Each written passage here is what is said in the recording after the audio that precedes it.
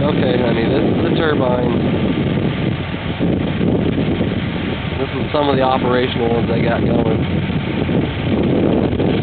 Here you got one that's not operational yet. They'll probably fix some wires in it or something.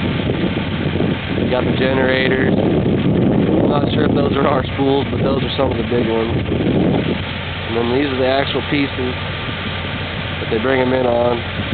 Those are the propellers. And you got the crane, more propellers. There's more operational ones in the background. And then this is our command center. This is where we have to come every morning and take care of stuff. Then you got the little building that we're working out of. Our nice trailblazer. We wish we had one of those. That'd be nice. And this is where they take all the energy from the turbines and send it.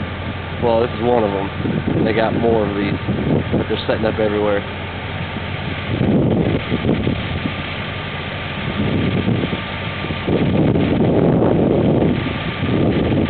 Think it's just really cool to watch. They're very, very big.